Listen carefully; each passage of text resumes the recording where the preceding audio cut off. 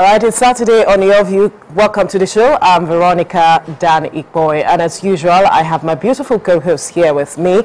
Good morning, ladies. It's another Saturday. Morning. Tokpa, it's good to see you this morning. It's good to see you too. I'm happy to see myself. Abby? I'm grateful to God for life. It's been a very, very busy week, very eventful week. Um, I run a real estate company, and one of the key parts of what we do is to empower people. So yesterday we had a realtors hangout. Most of those that came, over 60 people that showed up wearing denim, um, were people that very, most of them had not even been in real estate. Very few of them had been in real estate for like one year or two years, and it was about encouraging them because we live in an environment where everybody is talking about how bad things are, and we cannot continue. We can't create solutions where we keep thinking things are bad. We need to focus on how we can create and become solutions. So mm. the community of my realtors are a community of empowered people who see opportunities in spite of challenges. Absolutely, that's a you good want one. to join? Follow us on social media. Absolutely. Dami, how was your week? Very well, thank you. It's been very productive, and I am in my grateful girl era. Just thankful for how God has been wonderful and Mm. taking good care of me. Mm. Yeah, It's good to be grateful. Absolutely. Okay, so finally, the wedding anniversary is here. See you blinking. Congratulations. We have to dress it. so today is my wedding anniversary. Congratulations. Six years. Thank you so much. And I Wow. look back and I say, ah, now, now, six years I'm back. it's been an experience. It's mm-hmm. been such a journey. I'm grateful to God for my husband. So let me take like 20 seconds to thank him publicly. Thank you for sticking out with me. Thank you for understanding that sometimes some things can be in my head, but you choose to always do right by God. I really mm-hmm. want to say thank you to you. Thank you for being such a good father, for being such a good husband. God bless and you, I sir. wish us 100, 100 more Amen. years to come. Amen. To come. We shall I love you so. Enjoy, love, and happiness. Amen. nice, nice. How you Anyway, doing? How was your week? my week was uh, productive and uh, a new experience having to handle some a lot of things right now. But I just want to rant this morning, and it has to do with uh, the construction work on some of the roads, how it is taking such a long time, and it's told it's taking on a lot of Lagosians, Lagos, Lagos motorists. Uh, look at the CMD road; it's still blocked up till now. Uh, you look at um, the road, the express road around the um, new garage end is still work in progress, and it's taking such a long time, and the traffic sef. Is is is a lot. It's taking man hours, productive hours out of a lot of uh, Lagos motorists, and uh, we hope that uh, the government will ensure that they break down the neck of these um, contractors working in those areas. Yes, we know the weather and all of it, but uh, something has to be done and has to be done as quickly as possible so that we can make judicious use of the time we have. Anyway, Let's quickly tell you now that life itself is a story, a recollection of events that shape one's journey on earth. Do you want to share parts of these stories with us on your view? This will enable people to share in your experience and learn valuable life lessons from them. You can also get to troubling questions and possible solutions to any challenge you're facing. You can do this anonymously or otherwise. Send such touching stories to us on your view at tvccommunications.tv. Tell us your story today. Share your burning issues with us on your view on TVC. And when we return, we'll look into the top stories of today. Stay with us.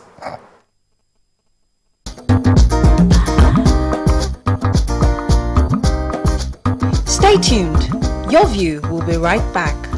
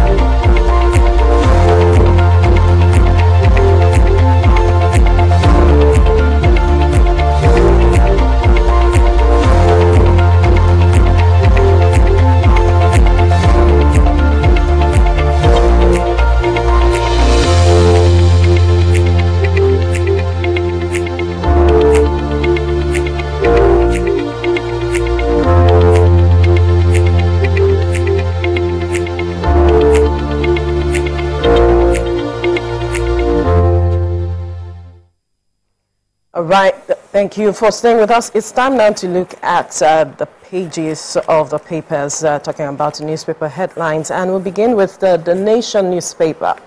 The major story here, Niger coup leaders rallies Burkina Faso, Mali against ECOWAS, formalize alliance in new decree, Junta expels Nigerian, Nigerian rather, French, German ambassadors, ECOWAS to Junta, it's not too late to reconsider your actions. And uh, another story here, Bushi, my one-year ordeal in prison custody. Bushi, my one-year ordeal in prison custody. He's sharing his story uh, for Nigerians to understand. And then you see the picture here, Army buries 22 officers killed in Niger attack. Uh, this uh, ceremony happened uh, yesterday in Abuja. It was a really emotional one. Now, how military should deal with calls for coup by ex-Bayelsa MILAD. You find details of the story on page 12. Why I wept during my son's inauguration as governor, Oyebanji is speaking. PANDEF hails Tinubu over restoration of Niger Delta Ministry, collapsed Abuja building, miscreants turn heroes in rescue operation. How will fight corruption in judiciary? Uh, President Tinubu is speaking. Who has what story? Okay, um, I would begin with uh, the headline that says Collapsed Abuja building, miscreants turn heroes in rescue operation as street boys save 28 lives. Wow. So we can uh, recall that there was a building collapse in Abuja on Wednesday, and uh, many people around that area are not happy that the boys that did a lot of um, rescue operations are not getting a lot of credits for their mm. efforts. They said um, they used their hands, torch, dagger, you know, to actually excavate. go into excavate, go into the rubble and mm. bring people Rescue out. People. And they were working hand in hand with the Federal Road Safety Corps uh, officials. So uh, the the guy is saying that's one, of the men called, uh, let me get their names now. Uh, Nasser, the truth, so there are three of them. One that is a Megad, Nasser Matzi, there's Yahaya Bilyamin, and there's Ashiru Masaka. And they said they had to do what they had to do because they saw that, you know, they had People to step in. Help, yeah. Exactly. And then they said that um, they would like to be helped and if they can reach, if they can be reached on 0703195128. If anybody feels led to help to them, them, and compensate them for the work that they did. And to encourage them, that, that's what it is, because uh, the government, the emergency management agencies obviously could not have done that alone. These guys, mm -hmm. these guys had to come in to help. And if you see the rubble, you knew that someone had to go in because at some point they were waiting for excavators to come into the rubble at the time it happened. So it was till the following morning when the excavators came in. And so these guys were the ones trying to rescue people. Two persons died in yeah. that incident. About 35 persons were rescued. And government has said that, said that uh, they will take care of um, the hospital bills of those that were rescued Absolutely. at the end of the day. But I hope that people reach out to them now that you have mentioned their name and I hope, yes. Papers. Yeah. I so hope I can. If you didn't get the number from her, please go and buy the Nation, the newspaper. newspaper. You find the number there by yourself. I want to take the story of how the president wants to reform the judiciary. Yeah. So the president received the NBA um, president, uh, the Nigerian president received the president of the NBA, mm. um, Yakubu Maikyau uh, in Abuja yesterday, Thursday. No, so in Abuja on Thursday. Yesterday is not Thursday. Yesterday was Friday. The, the NBA is having their 63rd um, conference. I don't know, it's not the word is not conference. Yeah, general, annual general conference yesterday. And they invited the president to join. So they had a meeting with him on Thursday to join them for the conference on Friday. Friday. And the president said that he understands the challenge with the judiciary. First, it is important to increase the remuneration for judges. He said that, and they understand that it's essential, it should be done quickly to fight corruption in the judiciary. Mm. Also said they were going to look at the cost and consequences, and that he had gotten a lot of information concerning this. He also, you know, um, in a very joking manner, said that he's surrounded by lawyers. His chief of staff, Femi Gbajabiamila, is a lawyer. He said his chief, the state chief of protocol, Victor Adeleke, is a lawyer. Mm. His principal private secretary, Prince Damilotun Aderemi is a lawyer. So the NBA is surrounded by a lot of lawyers. He understands the challenges the NBA is facing and he, he knows that the, um, he pledges a comprehensive criminal justice reform in Nigeria. And I'm sure all the lawyers as well as judges are looking forward to the, the reforms reform. taking place speedily. Okay, so I have this story talking about Army buries uh, 22 officers killed in Nigeria attack. We recall that um, some weeks ago, some uh, military personnel were in Niger State to uh, carry out rescue operations and also attacks. Uh, about 36 of them were killed by uh, terrorists. And uh, in the process, uh, the military has buried them. yesterday, they buried 22 of these officers at the cemetery in Abuja. And uh, it, if you saw the ceremony, it was quite a sad and sober one because uh, their families were present to pay their last respect. The defense minister for state was also there, Bello Matawalle. And um, the army is saying that they would ensure that they revenge this death or avenge this death. And uh, my concern is how this will impact the morale of their colleagues who saw that these guys were in the line of duty, paid the ultimate price. Of course, they have that at the back of their minds that as you commit to be patriotic in delivering your services to the country, anything can happen. Uh, but then how we move forward yeah. from here. It's what we do to critical. the family. Yeah. It's very How critical. we honor them. Yeah. So our heart goes out to the family of all those 23 soldiers that died, and we do pray that well-meaning Nigerians also support them with, apart from waiting for the military itself. Okay, so before we come to you, we need to quickly go on a commercial a break. When we return, we'll continue looking through the newspaper headlines. Stay with us.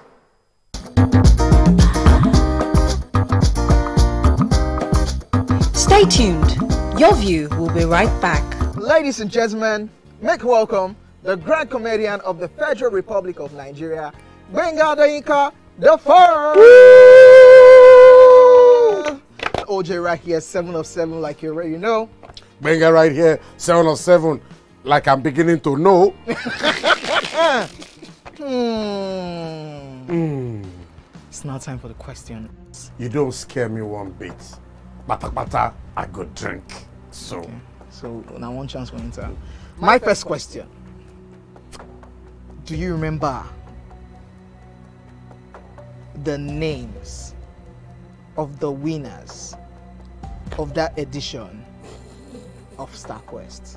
Of course I do. Why uh, do you? And I, and, I, and, I, and I hate myself for this. Because I have this question for you. Final question. No. Where, where outside Nigeria and what year? think you're the only one that can be wicked. I am thinking because I know back in the day Don't think, oh, don't think. Answer my question quick, quick. You are thinking too much. I don't like it. The UK. Final answer. okay. I said, God, God, please, let me to perform outside Nigeria. Wait, wait, wait, wait. And wait, God wait. gave me a trip, a show in Ghana. drink, my friend, drink, drink, drink, drink, drink. I know. I don't. I don't overthink this thing. See where I can. Yes, you overthink them. I will say you should catwalk. Oh. Let's catch catwalk. Where are we? No, that's not catwalking. That's, that's good. The, that's, that's good walking.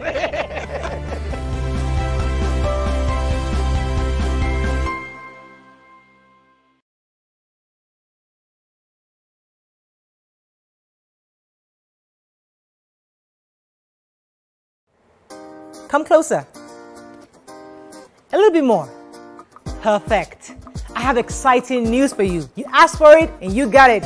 Your favorite breakfast show, Your View, will be going to two hours. We're going to have in depth analysis of the newspaper review, and more conversations on the hot topics. The ladies of your view and I will be stirring up our guests to get in depth into all the various topics, and you, our viewers, will have the opportunity to call in and share your views. After all, it's your view. Join us on Your View, 9 a.m. to 11 a.m. for a fantastic conversation.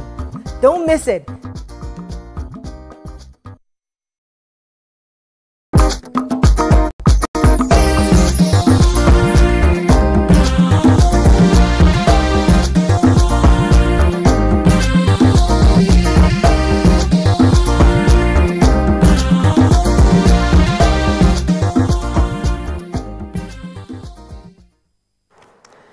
Thank you for staying with us. We're still looking through the newspaper headlines. We're still on the front page of the Nation newspaper. And Toby, you have a yes. story on this. Yes, the real reason I was remanded in prison for one year, former Senator Nwaoboshi said. And um, he said that, excuse me, he said that he was taken to court on account of diversion of funds but the Supreme Court, after one year back and forth in the courts, said that there was nothing called diversion of funds, so he wasn't supposed to have been arrested in the first place.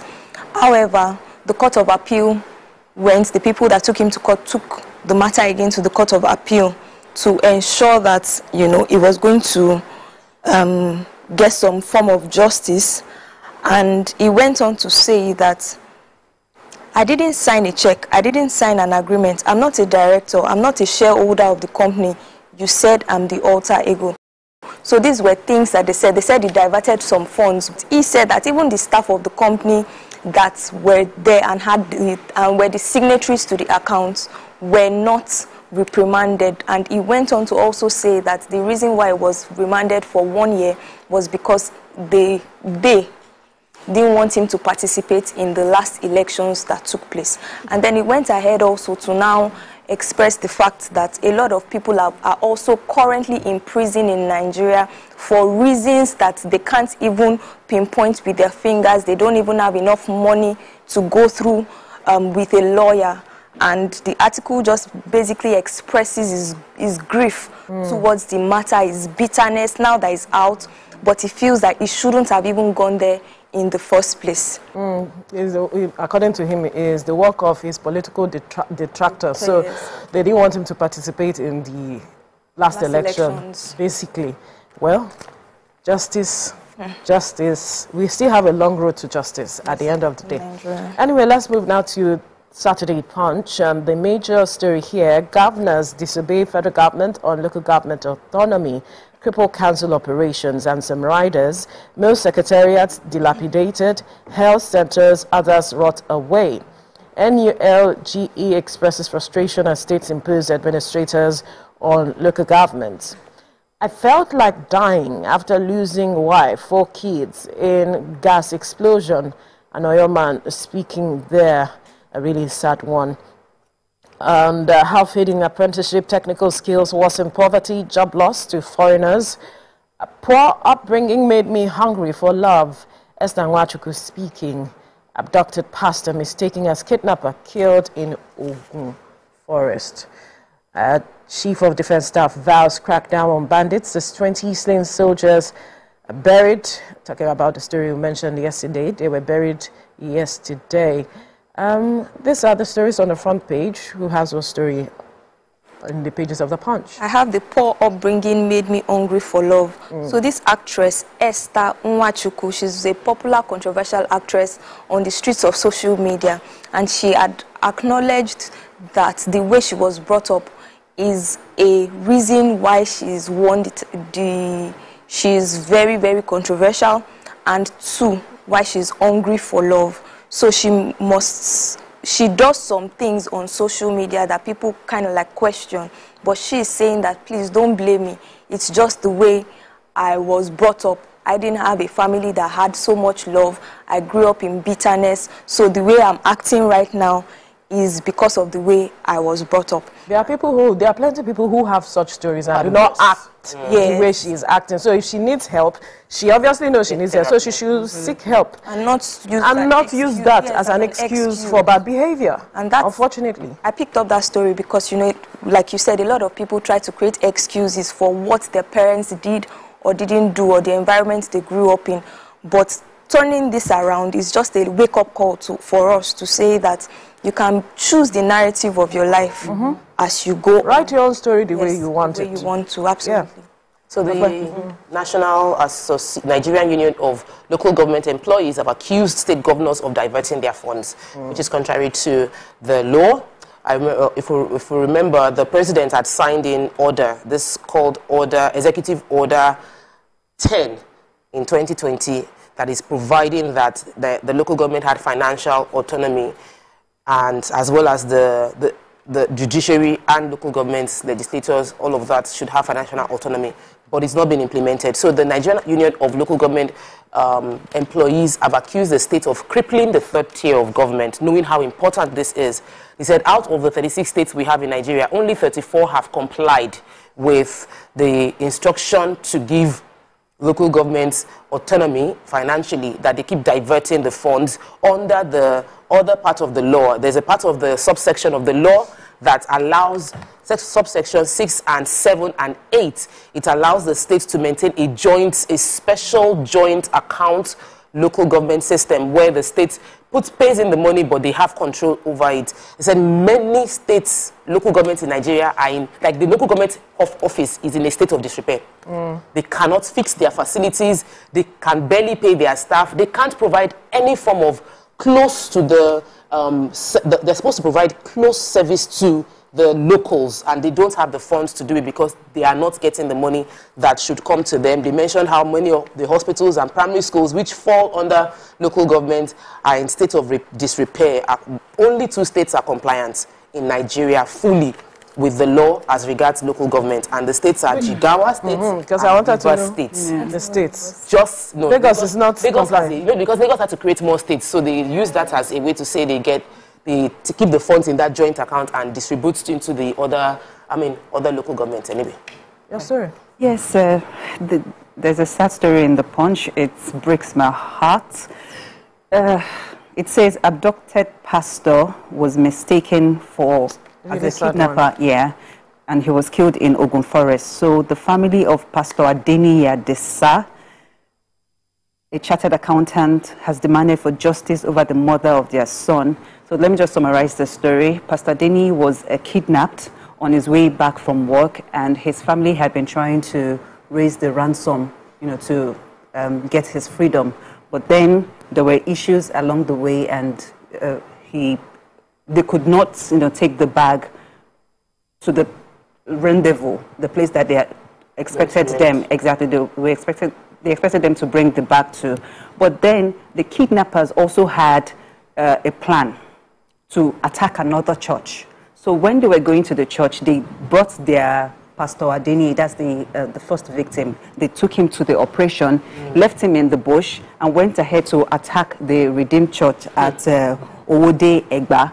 But while they were attacking, the church called on the policemen and the So Safe Corps, and then there was uh, an exchange of um, Bullets. gunfire, bullets, and some of the kidnappers escaped. And while they were combing the bush, they saw Pastor Deni right there in the forest. And they thought he was And they the thought he was one of them because, uh, because oh, of course, it was frail, and maybe the kidnappers had, you know, tried to. Uh, Make him like no, maybe not look like them. They had dismembered him. Like he, he was also, I think he also had the bullet uh, wound on his leg. So they thought that he was one of the kidnappers that was trying to escape. So they killed him right there. There was a video that um, showed some of the youth members attacking him with knives and planks. Even his dead body was dragged through the forest because they did They not, thought, you know, they did not regard him at all. So the family, uh, they are calling, they are calling for justice, and they said that um, they have written a petition to the commissioner of police, and then they said everybody in that video will be charged with murder, with, with murder, and um, Yeah, they'll continue I, to uh, investigate to see. I don't know. What came to mind is that lady that was also attacked in um, in the in, the, the one in the north, and we saw the video of persons who attacked her, who killed her. Up till today, we haven't gotten justice, and so I don't know how this would be different from that case. Well, this one has there's a video evidence. So there was a video evidence. Ah, there was a video evidence for that one as well we need to have justice because a lot of people need closure. Mm -hmm. Of course. So let me quickly take this story on um, ECOWAS. So the president of ECOWAS, talking about Umar Touray, now not the chairman of ECOWAS. The mm. chairman of ECOWAS is President Bola Tinubu. So the president of ECOWAS has said that nothing must happen to uh, Bazoum, who was uh, the ousted uh, president of Niger. And uh, we recall that um, just yesterday, um, the coupists in Niger were told uh, the French envoy, they even told Nigerian envoy that they are giving them 48 hours to leave the country uh, because they had called for a meeting in the ministry and these persons did not honor their invitation. And uh, the president of ECOWAS is saying, you know what, our ish, the conversation we are having is having a dialogue. War is the last resort. We are not planning to have any issues because the coupists have opened their borders to Mali to bring in their mercenaries so that if there is any attack on them, these people can show support for them. And so as it is right now, the president, uh, the ECOWAS chair, some days ago has spoke with uh, the ulamas, Muslim ulamas, and told them they should go back and have a conversation with these persons to continue dialogue. Yeah. As it is, war is not the option. What they want is a dialogue. But uh, the coupists in Niger are trying to put up a hard stance towards uh, the conversation. They're getting support. Anyway, let's see what happens in the coming days. To the Saturday Sun now. The major story, renewed supremacy battles rages on in APC as Tinubu's men move to wrest power from governors. President's allies, Governor Bello at loggerheads in Kogi, Oshiomhole floors Ayade in South-South, we are resolving issues, party spokesman is saying. Harcourt refinery to begin operations in December, federal government. Interesting. 4.1% unemployment rate report laughable, says Manufacturers Association of Nigeria, others. House of Babalawo Hmm? Lagos building where Ifa priests are born, raised, and tutored. Interesting. Ohanaeze offers to sign surety for Kanu. Uh, nothing will gladden Ndigbo's hearts uh, than IPOB leaders' freedom. Group youth salute reps call for his release. How Cold War in Lagos APC caused rejection of Sanwo-Olu's cabinet nominees. Stakeholders are saying this. Governor never ignored party. Matter is being handled, says spokesman. ECOWAS not at war with Niger, Nigerians, Touray speaking. Tough tasks before Tinubu's ministers. Expect experts in economy, ICT, oil and gas, law, solid minerals, state challenges challenges offer solutions. While we are not impressed by Badaru Matawalle's choices as defense ministers, Arewa Consultative Forum and uh, another forum speaking there. Who has what story? I was so curious about the Lagos State one, but it was just too political for me to handle. The mm. good news seemed like the fact that the Port Harcourt refinery is going to be up mm. by December 2023, according to the Minister for State Amen. Oil. States, I mean, Minister for State Petroleum Resources Oil, Senator Heineken Lokpobiri, who was followed for the inspection with um, the other um, Minister for State for Gas, Honorable um, Ekpo, and the Permanent Secretary for Petroleum Resources, and Ambassador Gabriel T. Aduda, and the Group CEO for NNPC PCL. All these people were there. You know, we've been waiting for this refinery to be up and we're happy that whatever turnaround maintenance is being going is going on. We're going to hold the Minister of State to his word. Now you are talking. We're going to hold him to his word. They promised us plenty things. This is December 2023. You and I, we're going to be alive in December 2023. and we're going to hold you to your word that the Dangote, I mean the... You see, um, um, you mentioned something. You just mentioned yeah, something that I also... Mentioned, yes, he, mentioned, mentioned it too, well. that yeah. Dangote Refinery 2 mm -hmm. is mm-hmm. expected to start working, but... Um, start working when? Mm. The, mm-hmm. the because that had been the controversy. There's been controversy surrounding that as that one from a particular date to June to July to now we are hearing they 2025. They did not give us date for the Dangote one, but they said Dangote until we start working. Mm. It was supposed to have come upstream for some time now, but we kept stalling and stalling, and I hope that this is not what it's going to be with the Port Harcourt refinery. But like he has mentioned, we'll hold them to account. I believe Nigerians are listening. We'll put them on their toes. If it does not come up in December, then we'll begin to talk. Uh, so, Toby. Yes, the 4.1% unemployment rate reports laughable, says MAN and others. So the National Bureau of Statistics has said that there is a decline in the unemployment rate from 33% in 2018 to 4.1% in 2023. And the organized private sector of Nigeria is saying that this is so laughable that we see everything that is happening currently in Nigeria and we're saying that the unemployment rate is just 4.1%. Um, a rep from the Manufacturers Association of Nigeria said it doesn't make sense at all. It's unbelievable to say the least. You don't need to be a statistician to know that the figures don't belong to Nigeria. we see throngs of unemployed people roaming the streets. We see people hanging around factory gates looking for any available jobs. We see graduates searching for even menial jobs just to get by. How can you say the unemployment rate is 4.1%? And so this has been conversation, this has been a conversation mm. that has been ongoing, saying that the 4.1% that the National Bureau of Statistics had put in place is absolutely unbelievable and laughable. uh, because that's what some persons have been talking about. How did we arrive there?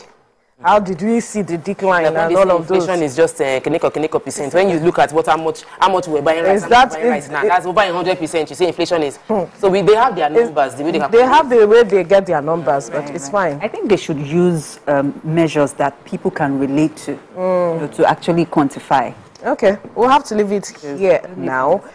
When we return, we'll look at, uh, we'll discuss our hot topic. Stay with us.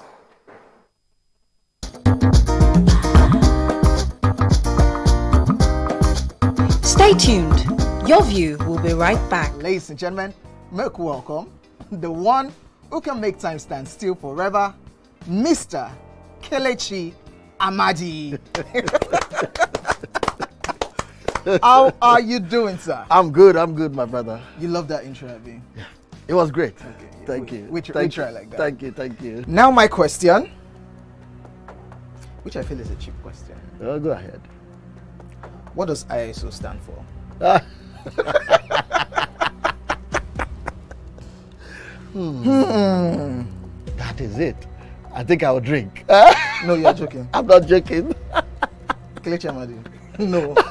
Shay, you didn't want me. You're whining me now. I think I'll drink. Huh? no problem. Okay. I've always known this as ISO. I never bothered to know what it means. I know what it means, but I never bothered to know what the acronym is. Tell me the the, the brand of camera that I use so much so that you know I even became an ambassador. That is that's very easy. You know. you know, very, it's out there. It's supposed to be yeah. I just say let me I give you this one as a token of my appreciation. Sony. Drink! Wait, wait, wait, I'm not done, I'm not done. I'm not done. I'm not done. I'm not done. You did not. You, you did not say final answer. It's final answer. You did not. You did not ask me if that was my final you answer. You don't have any choice again. It's only Nikon. How many? How many cameras do they have? My friend to drink. Uh, I gave you a very easy something. Nikon now.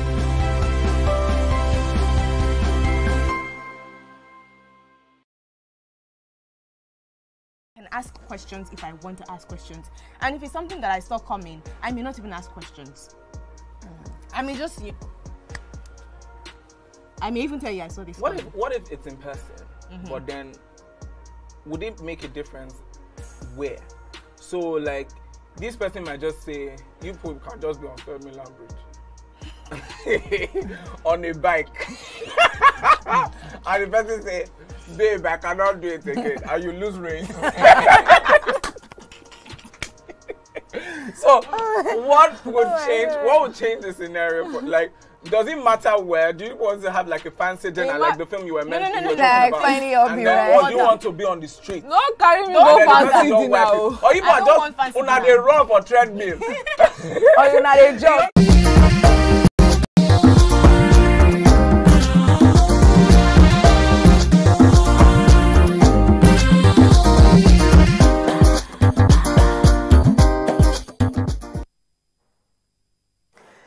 All right, it's time for our hot topic. So let's give you the story. A 33 year old Nigerian lady sent us the story of how she did not grow up with a silver spoon, but she had the luck of meeting men with promising future. She ditched the last man because he, he left for Kaduna in pursuit of his career goals, dated a few times, and even got pregnant twice. But this man ditched her also. Then she met this man, and that was where her woes began. According to her, he looked physically okay, but he started the relationship on lies.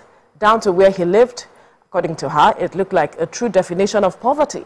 But she was already emotionally attached to him, and that is where her woes continued, because we had mentioned began. she told her pastor about her fears, but he persuaded her not to leave himself, not to leave him, saying that he has a bright future. She continued, and for more than eight years, she paid every single penny from renting a house to paying school fees to getting a shop for this man who had even embarrassed her by not coming to the wedding introduction with his people after they had picked a date, and she had already single handedly paid for the event. She has attempted to leave several times, but the guy keeps begging and families get involved. Now, at this juncture, she is totally done and has asked for transfer from work to another state. Her pastor, again, is asking her to stay. She's confused and it's our advice. What are your thoughts? Join the conversation and call us on 081 0764 1679 or 090 241 63440 or tweet to us at TVC Connect using the hashtag your view on TVC. She's in dire straits, according to her. What should she do? Should she go along with the man to her new location?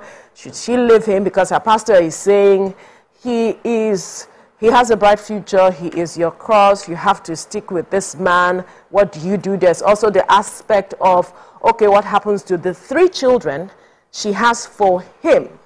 And that um, is it that the family will reject these children? These are other aspects to the story that we to you. So I'm just trying to flesh it here and there. Uh, the aspect of these three children if she takes them away from the man, will, have, will his family accept them or not? She feels that her children needs a father figure, so to speak, but the man keeps her, he keeps um, taking her drugs, he's refused to work, so to speak, and the pastor keeps insisting this man is the man for you. For you. Oh, yeah. She's waiting for your advice. Okay, Damola is shaking her head. Let's begin with you. It's such a pathetic story. First of all, if you are watching narrator, I'm so sorry for your ordeal. I'm so sorry that you had to go through all these uh, despicable things, all in the name of marriage. But first of all, I would want you to flee from that pastor. So it's either the pastor is the weapon fashioned against you, or he just lacks the wisdom that you seek in him. Or maybe your husband has something on him that is making the pastor pitch him to you every time because there's just something that is clearly dysfunctional there. And then number two, your transfer is an opportunity for you to flee, to start over again. Please do not um, think about uh, societal stigma what would people say? I'm a mother of three. How would I start all over again? Please choose your happiness first and take this transfer as uh, your jackpot from suffering because you really need, you deserve a second chance because you're obviously dealing with a narcissist here. He doesn't feel good about himself, so he's taking it out on you. He's making you feel lesser than who, who you are because he's not man enough to do all the roles that you have taken as a provider. So please protect your mental health, take your transfer, and start a new life. And while at it, don't uh, now wallow in pity. Take good care of yourself. Let your skin be skinny. Let your body be bodying. you know, just live a happy life, and I wish you all the best. But it must be stated that they are not married. He has not paid her dowry because you mentioned marriage. He has not paid her dowry. When they went for introduction, she, he didn't show up initially, and she called his brother, and they were laughing. Must you force him to marry you? Something like that in the first place. But later on, there was an introduction that she spent her own money. She sponsored at the end of the day. And then the aspect of pastor speaking, is there anything wrong with a pastor giving his shepherd, uh, his sheep rather, he's a shepherd, his sheep advice? We have seen pastors who, who give people advice. Is there anything wrong with that, especially when it comes to choosing life partners? Some persons just perhaps need such guidance, don't you think, Toby? I think so, and I do not underplay the roles of pastors in our lives today. Although there are extreme cases like this one, where you clearly know, even within yourself, that this thing is harmful and detrimental to me, but because a pastor has said, a pastor has, has seen a vision that this person is the person for me, you will stay irrespective of what it is that you face. And for the lady, the first thing that came to my mind when I was reading this was she's somebody looking for somebody to love her. She had had her experiences of heartbreaks, of people just ditching her. So the one that now decided to even ah, make mm. just manage you, in quotes, right, is doing all of this. And for some others, it's easy to say, stand up and leave. But looking at the track record of how a lot of people have broken her heart. It's difficult for her. It may be difficult for her to now just take the decision to stand up. And another thing I also wanted to say is that hmm, this love matter, we sometimes underestimate it, but mm. we hear severe cases of people saying that love made me do X, Y, Z. And you're like, ah, now the same love I they love now, how come is this deep, mm. right? but we do not understand the experiences that a lot of people have have gone through, right? A pastor says stay. And I mean, okay, that's okay. A pastor can say stay. But you, like Oyedamola once said, suffer never tire you. I mean, and you know, there are times when it seems like pastors are giving the advice that they, that they feel is right. You know, for example, Christianity would say that it is okay, you must. I mean, they push the narrative of for better, for worse, right? Whereas if you check through the scriptures yourself, no it's not expressly stated there, right? And you can infer things eh, based on the circumstances that you're going through in life at that particular time.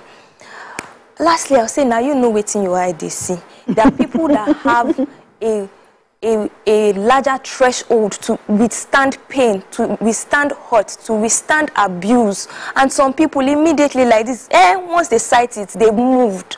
So if you know that you can still take it on, stay but like Oyedamola said, if suffer never tire you, you must still. Her major issue, one of her yes. major issue is her children. Oftentimes, I can't leave my children. And that's the narrative we often hear people, yes. from people who face abuse, mm. who find themselves in abusive marriages or relationships. I can't leave my, my children. children. I have had this number of children. What will happen? And you know how our society is when it comes to you being a single mother. It's not, the society doesn't seem fair to them, Tokwe. I can't leave my children. I can't leave my children. Or your children will leave when you are gone. Mm. Mm. Oh, I cannot leave my children, but they would live a very good life. They might do one minute silence on their wedding day for you, but their life would continue. So I think it's important that we note that part. For those that that's their sentiment, I can't leave my children. Know that your children will live without you when you pass on. If stress kills you, if domestic Abuse. violence kills you, or emotional violence kills mm-hmm. you, or life just takes you away, their life would go on. We put that one on one side. Two, you don't need to look for love. The most important love you need is self love. Love yourself and for those struggling with the idea of how to love themselves, understand and draw strength from the love of God, not the love your pastor tells you about, not the love that people you've seen on social media that people are saying God loves you. The love that you have found from studying the word by yourself, knowing God by yourself. You- when you know God, if you are a Muslim, You, you're just saying it now. When you know knowledge mm. Is key. So as I said, that for you, for those struggling with how to love themselves, then go on that. I mean, for those struggling, struggling with love, mm. because for many people, they are from this narrative of this lady. She's looking for love. She wants to be loved. She wants mm-hmm. someone that would love her and pamper her and take care of her. It's not bad. And it's not a bad thing. Yes. But if you are in the search for it, ending up in a revolving circle Cycle. of bad things, You should- then you should step back, Back. and check yourself that I need Right. to love myself. Mm. I am deserving. I am deserving of my love. And if the if the time and money I've invested in this man, if I actually invest it in myself, I probably will be better off than where I am right now. She mm-hmm. tells herself the truth. So love yourself. Invest that love in yourself. The love you are looking, the way you are checking on him. How is he doing? Has he eating? Should he eat? Is he sleeping? You too check on yourself. Have I eaten? Am I sleeping? Am I doing well? Because by the time you love yourself to the point of confidence, you will attract the right man to yourself. Absolutely. So where she is, three children, we've seen people that marry after four children.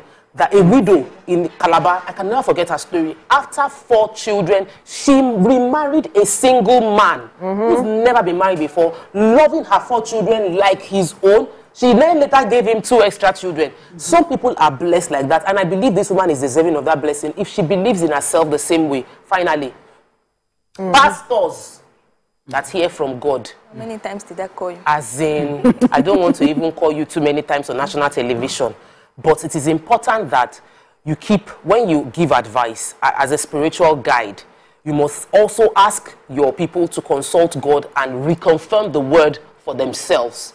So if you have advised, the pastor has advised, I hold the pastor accountable, and I also want to let her know you're 33. You're not a baby anymore. You're a mm-hmm. full-grown adult. If a human being is telling you to enter into a pitch, into a ditch, and you walk into it, you can't blame that human being because you have your own two eyes. Mm-hmm. And you can see it's a ditch and it might hurt you. So this lady should take the pastor's word, but also understand that she is a prophet to herself, First. over herself, and step out into the, uh, the arms of God that she believes in. Instead of listening to the pastors, sometimes pastors will tell you, wait. Like in the case of Acrimony, when you watch that movie, imagine if a pastor Yeah, told yeah. her to wait and she should wait and she wait. She'll feel like, ah, I should move on. And sometimes you not feel like when you move on, the man now blew. Your destinies did not align. Yes. But one of the guys she dated that she she did not she left because he moved to Kaduna. Eventually blew blew. Mm-hmm. Mm-hmm. Yes, now he, he went to Canada and Your she was destinies did not align. So don't think a man is the solution to your problem. yes. You must Honestly. understand yourself. Just because I know the one is watching, if not, I'll have given it to Agbas Boost. I'm And just she, being she nice. said that you should not criticize her too much. that she knows that she has messed up. Yes, Please. she agreed. Yeah. Now she has agreed that she messed up, which is a good place to begin from. Yeah. Yes, Toby, you wanted to say something. Yes, I wanted to just buttress what you said, but she had already expressed it in a different way, and that's Absolutely. Now, this is what I want to say. Uh, beginning with uh, the lady, right? You, you mentioned something about you didn't grow up with a silver spoon. A majority of us did not grow up with a silver spoon, right? But somehow we were guided to get to where we are now. So it is not about your background. It is about the fact that you can decide to write your story differently. Yes, the place you are might influence you, but you can decide that this place that I found myself, how is it helping me? How is it building me to becoming better such that my children will benefit from me in the future and I can also reap from the labor that, I have expended upon my children. Yes, society, the patriarchy in our society, is not friendly towards some of these things. When you talk about single mothers and the fact that um, you, ha- you have this number of children, the man also is not helping you. Her mind has been bastardized. The man keeps calling her names, unprintable names that I do not want to mention here. He goes through her phone. Emotional abuse. So that emotional abuse, I think we need to touch on that. The emotional abuse that she has gone through, which has not helped her. In fact, she left at some point.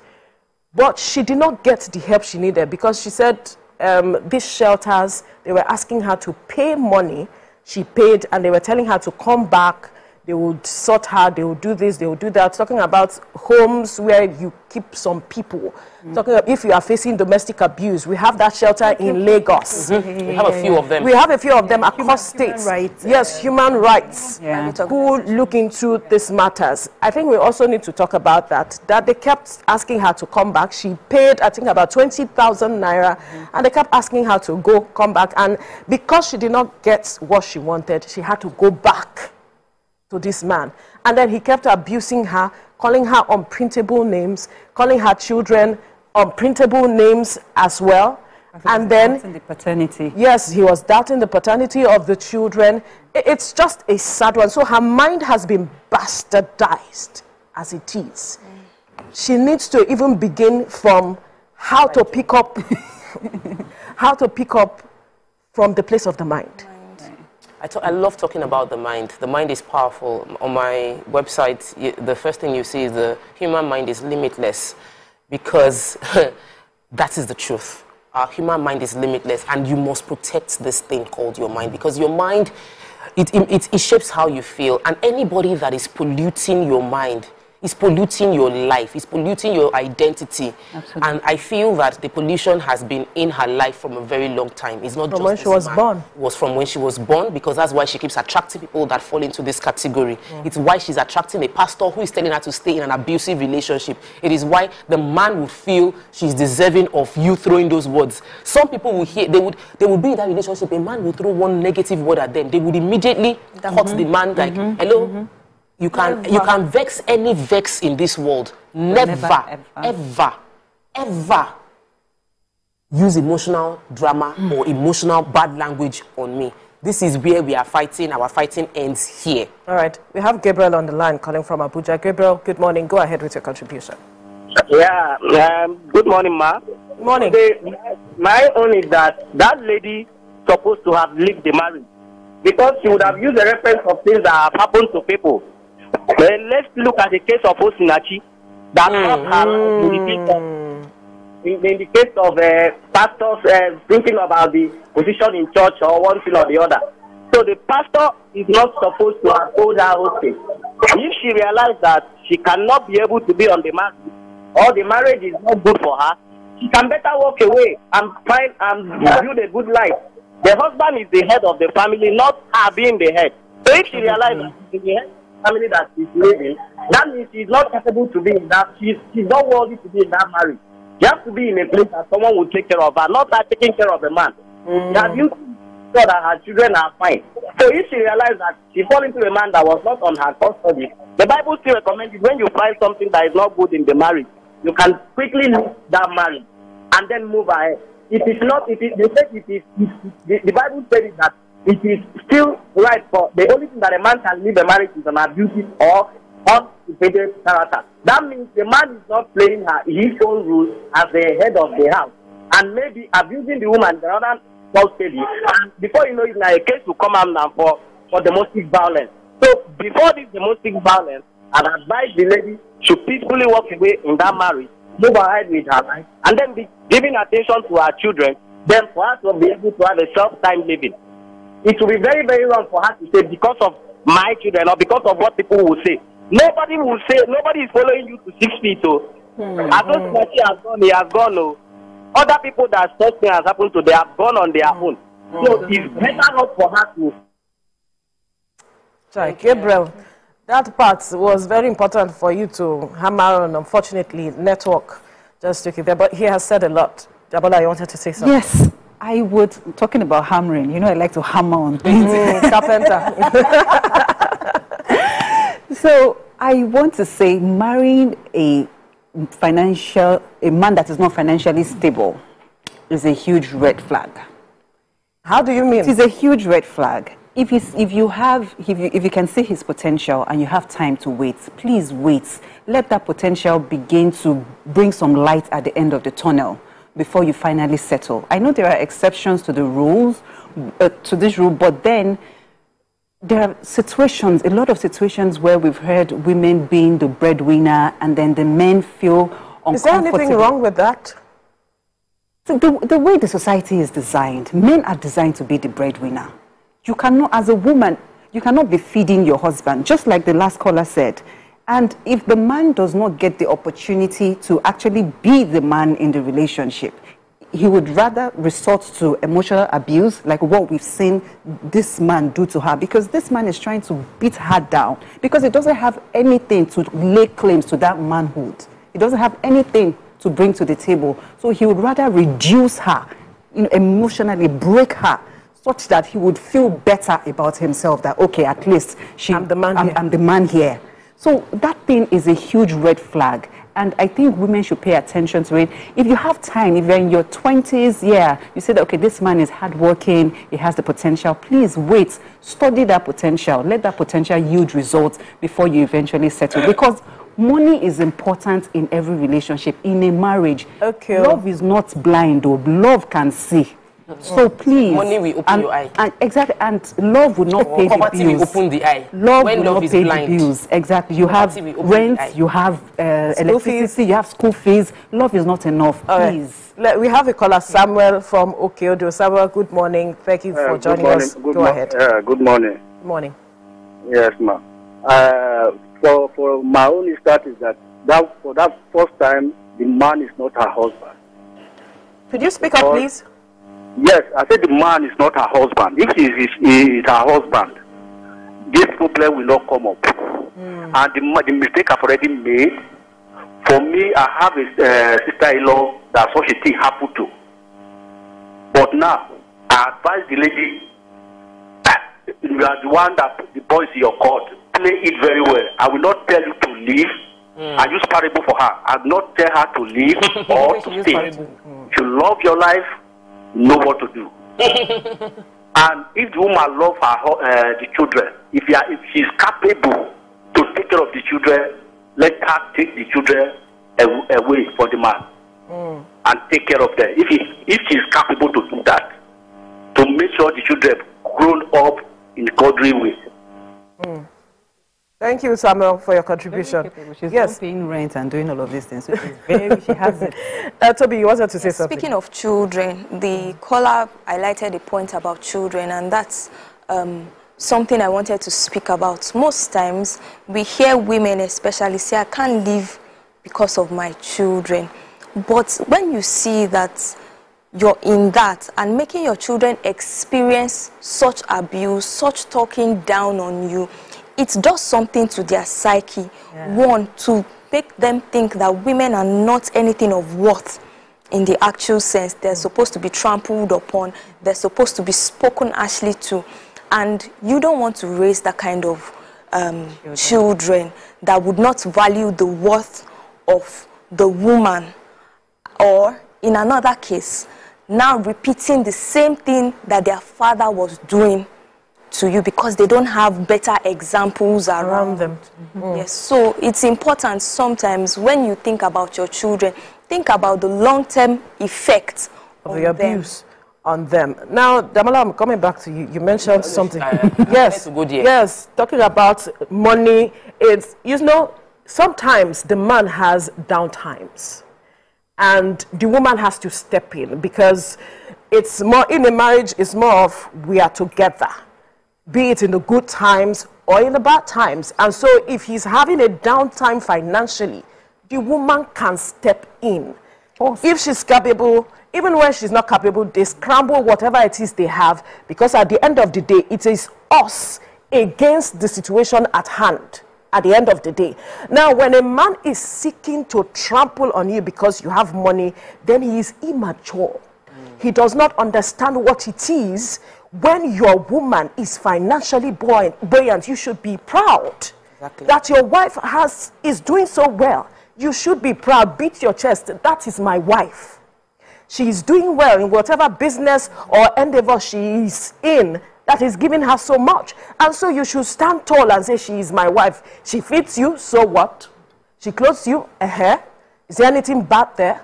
Are you the man or not? Has your gender changed? What defines a man, even in the first place? What makes you a man? Yes, the scripture talks about the man taking care of the home and all of it, but there are times where you, as a man, there are down times, and the woman can step in. And then you begin to ensure that you are not relaxed. Oh, because she's doing this. You begin to look at ways of improving on yourself. You're she talking. balanced it already. No, you know, talking. she balanced it. You know, because it's important. there, there, there, are different, there are diff different mm-hmm. categories. She balanced it because she said mm-hmm. that when you are when you are in your twenties, you can both of if you're marrying somebody that is young, there's room for. But if you marry somebody that is in their forties, you know what they say? The fool at forty is like they say they say a fool forever. Not necessarily a fact, but it's a saying. So she balanced it to say that as you have gotten older, you must be more versed about reality. When I am coaching um, or advising mentees that are single and they want to get married, I ask, what is he doing? What skills does he have? Because I am able to see what love has blinded her to see before poverty will open her eyes in marriage. Because love can be blind before you marry. Few years into the marriage, poverty will open your does eyes. Does money guarantee peace in the marriage, does it guarantee that? No, does it guarantee? What does it guarantee? guarantee and uh, we'll come back to this matter. Emmanuel is calling from Owerri. Emmanuel, good morning. Thank you for joining us. Thank you, thank you, my sister. I appreciate what people are doing there. It's really wonderful because uh, at a time like this, a lot of families are mourning. Understand? So a lot of uh, families have this issue. But I also want to say this issue does not relate only to women. Mm-hmm. There could be abuse on men, there could be abuse on women. It's not, it's not good either way. Do you understand what I'm saying? Mm. So, but I want to say the, the lady on native, I don't know her name actually. With uh, Damola. Damola. Yeah. Damola. I, I appreciate what she was saying because everything is borders on the mind of a human being. You understand? I don't want to believe that money money makes marriage. What you need in marriage is potentials. You understand? If, if, if a man has the potential, he may not have money at the, at the point in time. Some people left their husband and a month after, two months after, the man hit big money. Mm-hmm. It happens in life. Mm-hmm. What I'm saying here, you have a conscience. You know what you want out of life. If there's, if there's battery in your marriage, if there's violence, domestic violence, you don't wait for any pastor or any man to tell you what to do. Mm. Emmanuel. Oh, ah, all right. we need to go on a commercial break. When we return, we'll continue our conversation. Stay with us.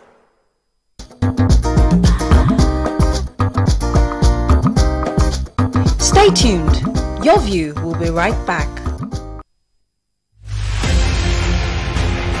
Ladies and gentlemen, multiple award winning actor, producer, ambassador of Edo People, we have Etinosa Idemudia in the building. not be first to go police station they win the case. Okay. so you don't you are showing no, yourself I go, I go see as my second you question. you are feeling like a, a contact the prancing peacock. I'm about to cut your wings. Hello? Now in the amalgamation of 1914 who was the woman that. who said who drew the line of the amalgamation? Is they, who, who cut who cut the report? Who is the person? That used scissors what is his name that woman. That, that ah. Ah you have done me dirty I've marked your face. I've marked your face. If anything happened to me today, I don't, I don't, if I don't reach my house. Anyway, I'm gonna be chauffeured, so. Mm. You remember now, Avi? yeah, but you never too thin. Um, now you remember. Hey. If a person who indulges habitually in watching a sexual material is called a voyeur. That's what they're called. You clear say you don't go even get the next one. Hey, hey, a voyeur. Voyeur. Then go on. What is a person who makes one? A voyeur. a voyagist. a bon voyage.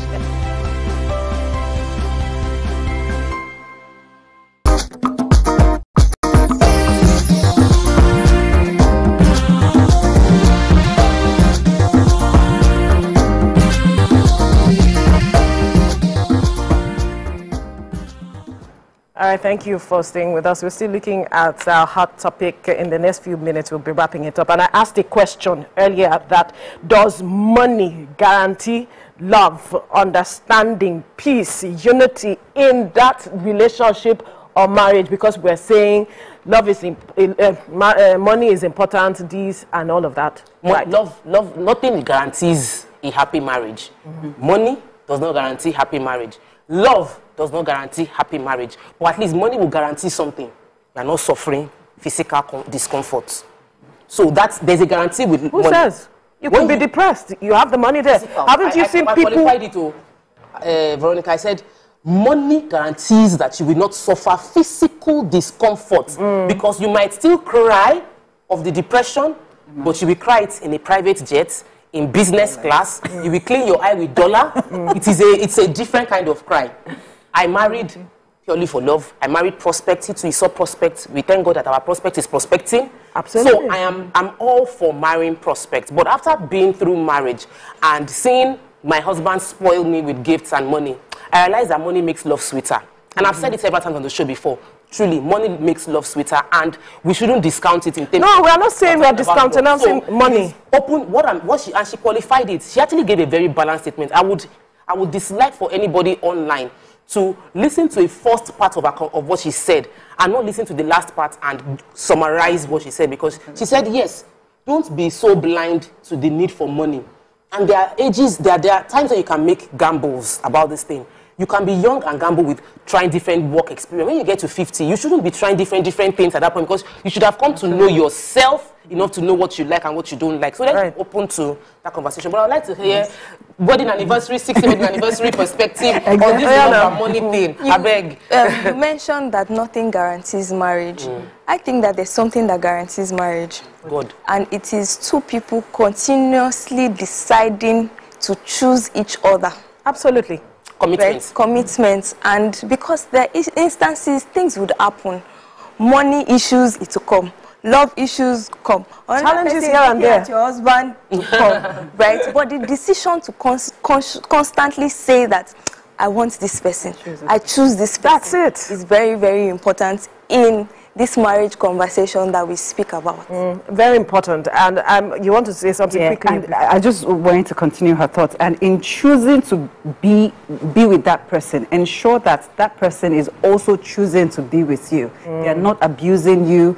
You, you are not. y- Yes, ensure that it is not one-sided. That both of you are choosing each other. Both of you are making conscious efforts, you know, to achieve the marriage goals that both of you have set. But in this woman's case, for example, I would not advise her to continue choosing this man that has rubbished her, Absolutely brought not. down her self-esteem. so I wish. Except I two think, I, yeah, I think we are wishing. Yeah, we are wishing them all the best, Abby, on this table. Wishing her. Ha. Exactly. Ha. Uh, The best. uh, And yeah uh, conclusion please just yes. help us sum it up everything that we have said of course, that, that's where I am headed uh, because you have given a balanced um, perspective to, to this aspect. Uh, but I would begin with the aspect of the pastor. I tell people, know God for yourself because it is important that whatever decision you are taking, you are responsible and that you know that, okay, this decision I am taking, it is not based on this person said this or that because you are the one that will feel the pinch, not the pastor or whoever that gave you the advice. So know God for yourself so that whatever decision you are taking, it is guided by that knowledge that you have of Him. And then the matter of marriage and all of that, you should know what you want in marriage. It is critical. Then you can have a conversation with whoever you want to get married to. Because if you have no idea of what it is you want, a departure from, maybe you want a departure from what you saw with what your parents had, you must have that conversation. There are people who have come out of abusive marriages that had, ab- abusive homes that had good marriages. It's very important. They decided that they do not want to have that kind of relationship in their marriage. And so they built on it. It's work. oh. If you want to get the best out of your relationship, your marriage, you have to put in the work deliberately mm. to ensure that it works. Know your partner, know yourself, and then you can build on your prospects, help each other grow. It's also important.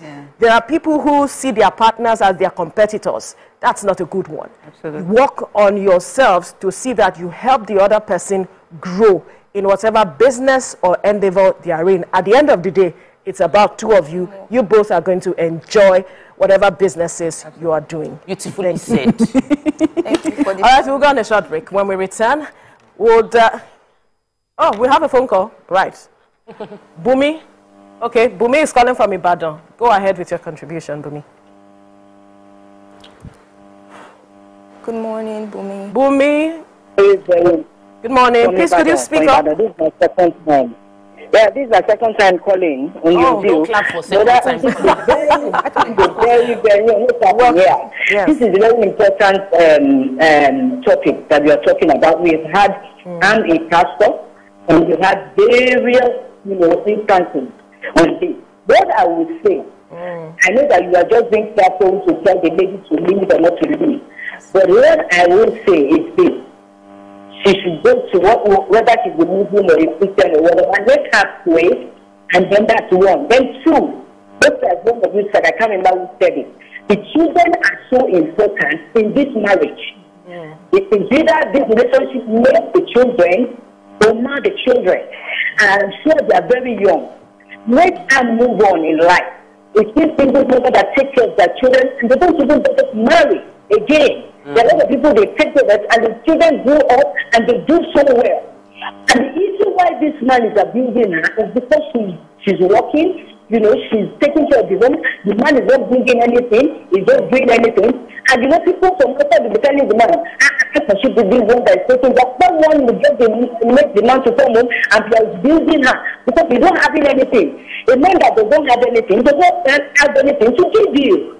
So the best thing for you is to move on and take care of your kids. You don't, you not even moving on to look for another man. That's not even the issue, my sister. The issue here is for her. So hold on and take care of these kids so that they, they will not grow up. If, if, if she has a boy there, the boy will grow up and say, that's how my father used to beat my mother. So that means it's the right thing to do. If, if she has a girl, the girl will say, oh, okay, I don't think I can marry. And that's why you see nowadays, these gentle, uh, uh, gentle children, they will just, they don't want to marry. Why? It's because of all this. Yeah. That is the main thing. They will tell you, why don't you want marry? No, no, no, no, I don't want this. I can save this person, I can save this person. And I, and I, I know that as she's watching, I know that. Yeah, Bumi. Unfortunately, but you, we've you. gotten, you know, the kernel of your statement, talking about it's important for her to take care of herself first. She needs to unbundle, unburden everything that she has had, clear her mind to know how she moves forward with this matter. Thank you so much, Bumi. We'll go on a short break. When we return, we'll have our Let's Talk segment. Stay with us. Ladies and gentlemen, make welcome Pioneer Positive Force member, dancing queen of the 80s, non-conformist, Afrobeat historian in her right, and long-standing member of the multiple award-winning all-female show Your View, Omoyeni Yeni Anikulapo Kuti, aka YK Power! Ginger, Yeah, take it, take it, take it. Yeah, yeah, today, today we go hear him. Hey, Hmm. I read you. Are you sure? Ha. I know. I'm not here to answer questions. I'm here to drink. We're in trouble today. ah, wait. Wait till your age. I was close now. Eh? I said 1975. He said 73. He said said 75. I confirm. Fellas wasn't even born till 75. So will I drink half? Eh? You go drink. oh. Take, take, take. Make I, go make I help you. Russian, Russian, Russian. No be half. I Eh, try. which half? you will make me drink. I'll give you a hint. L- light in iná.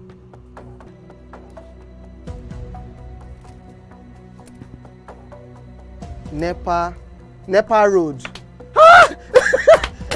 Nepa road. Nepa road in Abeokuta. uh-uh. First of all, my brain cannot uh, memorize everything. A big black bug. A big black dog. Bug. A big black bug. Oh, sorry. A big. It don start. ọmọ ah, eh, ọmọ ọmọ fẹlá ọmọ ọmọ aníkúlápó kùtì wọn rò pé kí ni kékeré yìí. It's by Audison. It's not by Eh,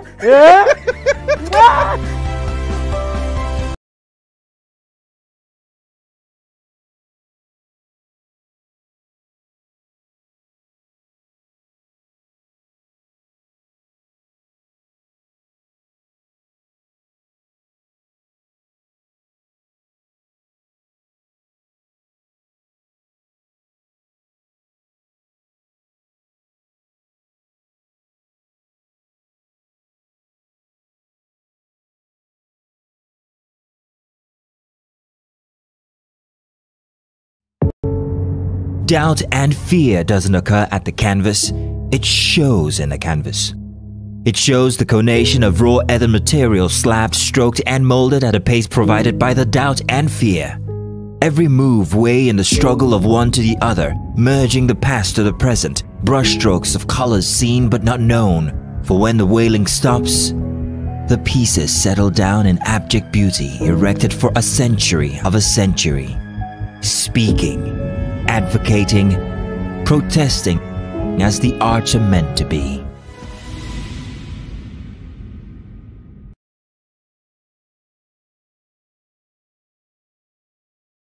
Ikechukwu Sunday Okonkwo, aka Cross. Now your intro without one. Wow. So there's a name that thing that's. I'm just drinking because you say I should drink. There's no particular answer. You think it's only that can be wicked? What's the answer? Subterfuge. Eh? Yeah. They claim you did, but you said it just happened. That And it's called what again? Subterfuge. Such a feud. S U B T E L F So you look me finish from head to toe. You look at a person who go know what to become such such such. yeah. The nude wasn't like a game plan. Or... I promise you, Bec- it was bec- actually a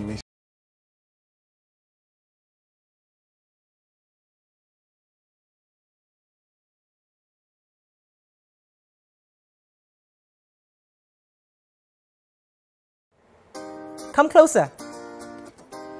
A little bit more. Perfect. I have exciting news for you. You asked for it and you got it. Your favorite breakfast show, Your View, will be going to two hours. We're going to have in depth analysis of the newspaper review and more conversation.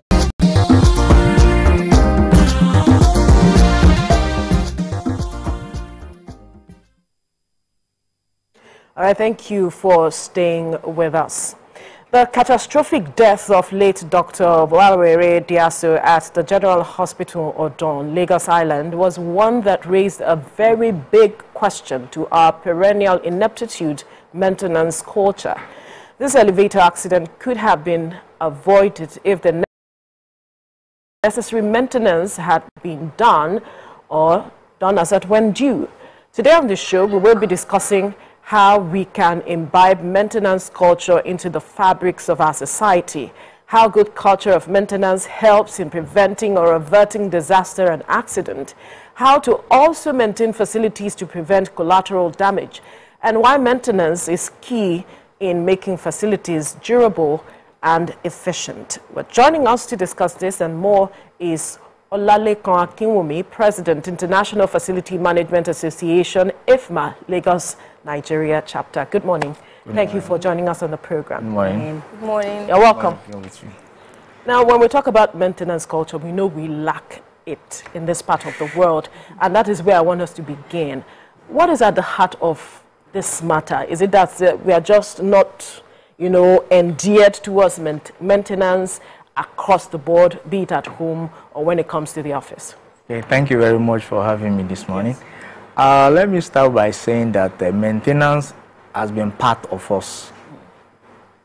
You know, if you reflect back to the olden days, there is a way we maintain our parts. The community will come together,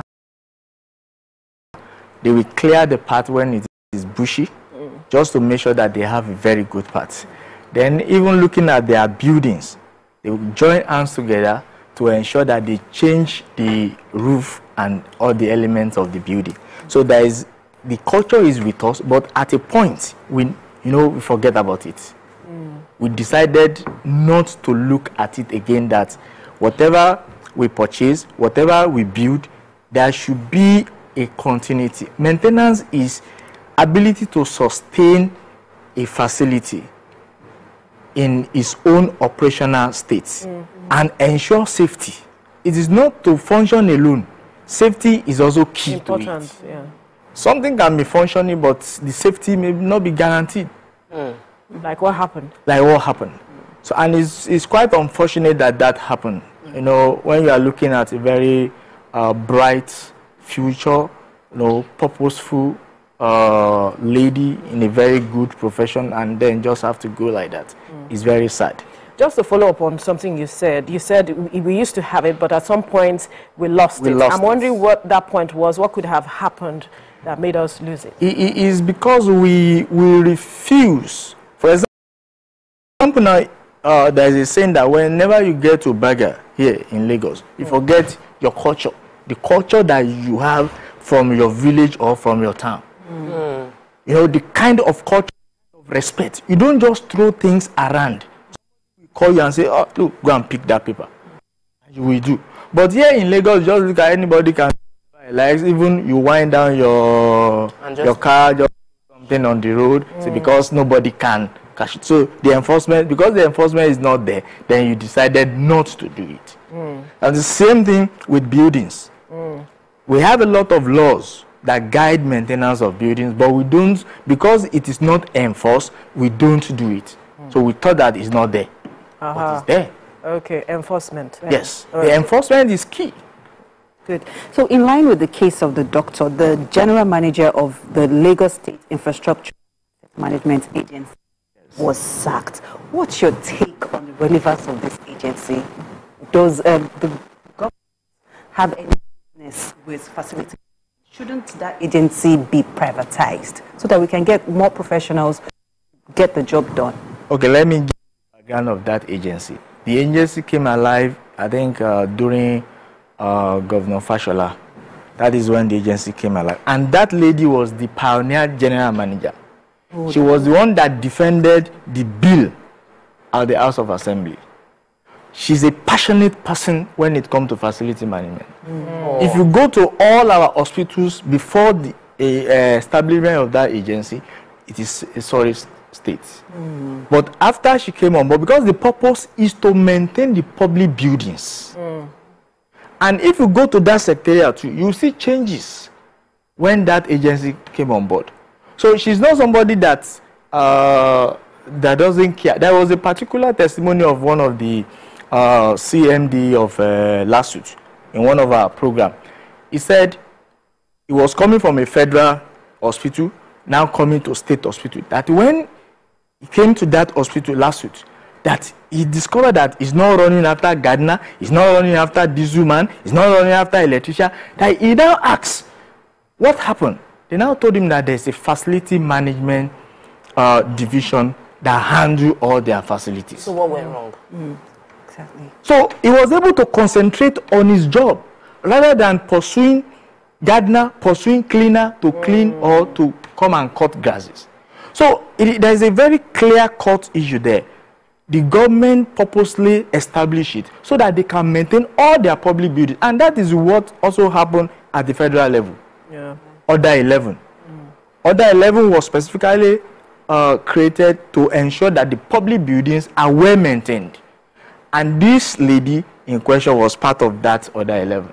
So what now happened? That's the thing. What went wrong? So one now because went from wrong. what you're saying, Yes. you are alluding to the fact that um, we're, we're firing the wrong person who actually is very passionate about it. Of course. That the model has even been adopted on a federal level, but there was there's an obvious failure somewhere, Somewhere. and we need. It's not just a scapegoat. We need to prevent future occurrence. Yes. So, what went wrong in this particular hospital's case, where the story had been on? You see, you know, facility management is uh, about 12 competency. It's not just one of thing. And for you, as a general manager, you give a directive, they will send you reports, you look at the reports, and if the report, there's no red signal there, you will not, you concentrate on something else. So, because I was discussing with one uh, uh, elevator expert, he said the elevator is supposed to have at least six ropes. So it's not something that should just happen and kill somebody. Mm. Even if there's a crash, it Even if it- cut all of yes, all the six. He said there's supposed to be ten, but at least six. So it is something that they have to look beyond what we are seeing. It can be an act of sabotage because a lot of things do go, you know, wrong, and we need to really, really look at it critically from both professional angle and then be able to prefer a kind of solution to prevent future occurrence. Right. So my next question, the next question Yes. would be, how easy is it to carry out your duties as um, this agency, considering the bureaucracy of government processes? You see, facility management uh, is not uh, a kind of uh, operation that needs bureaucracy. For example, if you are telling me that when there is no water, I must write for approval, mm -hmm. does that make sense? Mm. So, bureaucracy should be out of it. A facility manager should be given free hand to operate. You have your budget annually, and you know what you are supposed to do. You have your routine check. So you have all this strategy in place. So it's just for you to ensure that you deliver. Okay. So bureaucracy should be out of it. So should it be privatized? Is, is, that what you currently face, mm-hmm. or you still have issues with bureaucracy within the system? Bureaucracy is there. You can't take that one away, because anything that concerns government, even private person, okay. yes, your landlord, your police, they will tell you that okay, you, you must consult me before, the, and something is happening. Right. For example, there was a downpour and then the fence collapsed. Mm. And you are now telling me that I must wait for you before I protect the people yes. that. So I have to make sure that something is in place to protect the occupants. Yeah. You mentioned something earlier with regards to this matter of um, uh, Dr. Vwaere yes. that happened, talking about how it should be looked into holistically. Yes. What, what in your perspective should be the way the government should go about looking into it holistically so that we can get to the root of the matter, whether it was um, an act of sabotage yeah. or that something that went wrong, that we get to the root basically. Yeah, you know, the government said they are investigating. Mm. If there's no fair hearing, then it means all the investigation is nothing. Mm -hmm. Because the rule is that you must give fair hearing. Yeah. Both parties must be called both parties must present their own case and then you'll be able to harmonize the thoughts together and then look for the solution ahead of it. And it's not that maybe a, a particular profession should be involved. Should be mm. all. Mm. Facility management is very diverse. Mm. It's multidisciplinary uh, profession. So it is not something that a particular set. We have uh, clinical facility management and non-clinical facility management. So this experience must come to bear when you want to really judge the matter. It is not something that will just be particular to a particular, I mean, specifically to a particular profession that say, okay, this. We have so many accidents on the road. Of course, yeah. And then we did not say, okay, the road safety should leave the road. yes. I get you, but the thing is there must be consequences. Even you mentioned that there must be consequences. As it is right now, from what you're saying, I'm alluding to the fact that you are not so pleased with the immediate action of the government in firing the person that was fired, yeah. the woman. You also alluding to the fact that there is bureaucracy in the system, so we can't blame one person. Don't make one person a scapegoat. How would you want the government to handle this in a way that would seem, because there's no just, it's not just about justice, so you, it must be, you know, just don't just do justice behind. Justice must be seen to be done. We have lost one very, very promising Nigerian, yes. and a lot of fam the family have been put into mourning, and we yes. need to be sure that we are doing what we can to ensure they get a bit of comfort from the justice system while we also prevent this from ever happening again. How do you believe that should be addressed? Yes, what I believe is that uh, when the government is constituting uh, their investigative panel, both parties should be there. They should be represented. Let, let us see what happened. Mm. Not behind the door. Let the, the doctor's representative be there. Let the experts in elevators be there. Let the, the, the lawyers, you know, let the facility, let them be there. So that we look at it and check what really happened. Mm. It is when we know what happened, then we now know, okay, this is what action we are going to take. And then, you know, because if the family did not see transparency in your action, it's like you are still hitting them on the wound. Mm. But when they see the transparency that these people has been open, then they will be able to say, well. Okay, so I would like to know what your um, association is doing to ensure uh, more professionals are coming into the faci facility management industry. So because we see a lot of um, collapses in Nigeria pointing to human errors and poor construction yep. um, supervision. So what is your association doing to ensure that these quacks are being fished out? Yes, we are, we are doing advocacy every, I mean, annually. And then we also reach out to agencies like uh, Lagos State Safety Commission. We have kind of relationship that looking at it that there should be a program in place where we can be checking all the stability of the buildings. And which I told them that they should start with their own buildings. yes. So that when you start with yourself, examine yourself, then you mm. can now examine others. And point your finger there. Yes. And then what we also do is that we encourage our technical schools because that is the basis. Mm. When you are putting an elevator operator that is not trained, doesn't add up. But the technical school, they have various, you know, skills and we encourage them. Last year we gave about, uh, even including with the, I mean, injunction with the uh, Lacetra, we gave them, 25 of them, two books to encourage them that, look, being a technical school uh, graduate doesn't make you lesser in the, in the uh, public. You are so important. If your work is not required in a facility or in a place, nobody can do it. You can't pull off your shirt and say you want to do bricklaying or you want to do plumbing or want, so somebody have to do. So we have to encourage them. And then we also make sure that look standard. Because when the incident happened, I have to call them at our secretariat that help me to check and call all our corporate members. Who is managing that? You know, who is managing that uh, facility? But unfortunately, we couldn't find any of our member that is the one managing the facility. Mm. Wow. So that's another thing that we have started it that look, all our corporate members, we must have a rallying point that look, this is the standard and mm. the benchmark is an international organization we must make sure that we have that benchmark. Mm. Our people must be safe. Our people must also enjoy. Environment supposed to be talking to you. Mm. Environment is supposed to make you comfortable. Absolutely. Even I used to tell people that if you get to a particular environment, if that environment is so good, even when you are sick, you will discover that naturally you, you get ill. Yeah, honestly. But if you are in an environment and even the mere looking at the floor, it will make you, you more get, sick. Yes, immediately you will get sick. I, I, oh, uh, we, we traveled for a program and after a three-day program, everybody was just like, ah, see the way all of us are smiling, laughing, smiling, laughing. like it was, there was a change. Yeah. We're in a different country, everything seemed to be working, we were happy. How do we bring that culture of excellence to how we do our things here? Oh, yeah. Yes. Right. She needed to add to ask your question. question. Yeah. Okay. I, I like the angle you finished from, speaking about the fact that there are other parastatals that your members are not um, working on mm. as facility managers. So can you highlight some of the organizations that your your members are currently managing? And I ask that question because we hear this case about Lasuth, and it was after that incident happened, we found out, you mentioned that nobody was actually on Present, that. Yeah.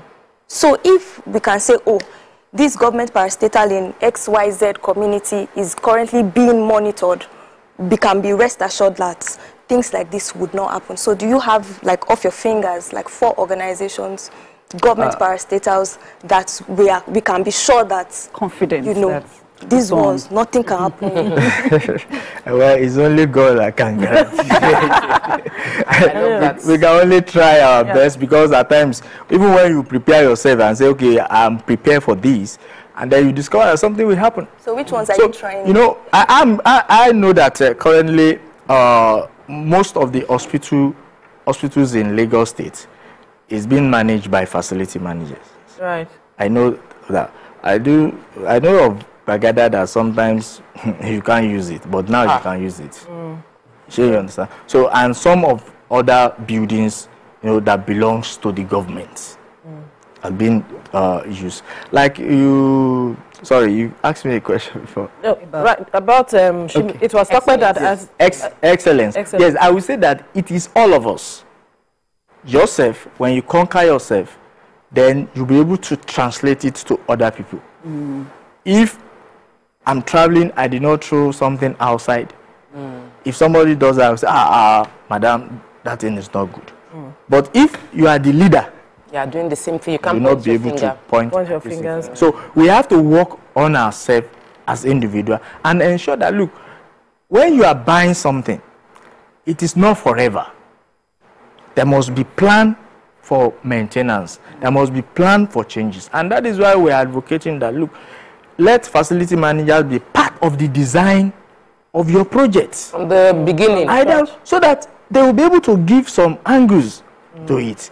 Because when they are managing it, they will know what's happened when they were designed and what they should do.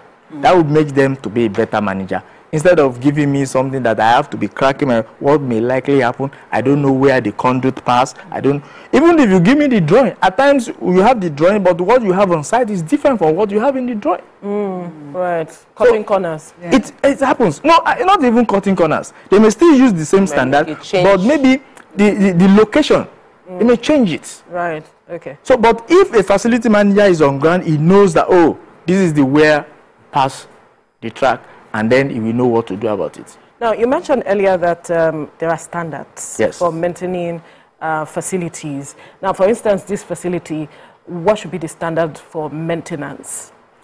Yes, you know, for, for studios like this, you know that you use light more often. Mm -hmm. Is the lighting you are using, is it friendly? What is the effect on the people that are under it? All these have to be put into consideration then what is the uh, the exit like? Because when I was entering here, I was looking for. is there any another exit route? outside? Yes. So you understand? Yeah. Because whenever you enter any particular hall or building, you must. That, that's why signage is very important. Mm. They must give sign this way, this way, this way, so that you know what to do when the eventuality happens. Mm. So the standard should be that look, all the you know the wiring the cables and everything they are well taped they are well uh, managed in a manner that it doesn't cause any accident to anybody mm. so we, we, we must have that one behind ourselves and then be able to move on right Tamala? Mm. Okay. So you only mentioned Gbagada General Hospital. No, no, I don't. You know, I said the, the hospital. I only mentioned Gbagada because I, I, I think I, I, I, I've used the place twice.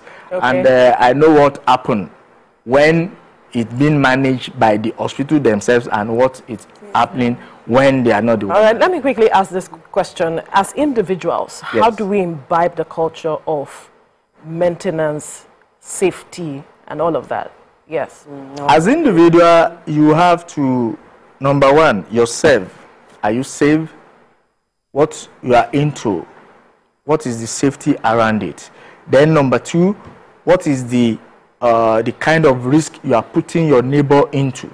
Mm. By the time you understand these two, you'll be able to say, okay, if I want to, if I'm having this structure, maybe annually I'm setting aside 10% of my income, I mean the income of that, if it is a commercial one, the income of that particular property maintain. Uh, to maintain is from it is already done. It's a budget that 10% of it is going for this. So if there's going to be a kind of uh, uh, overblown budget, that one is a separate issue.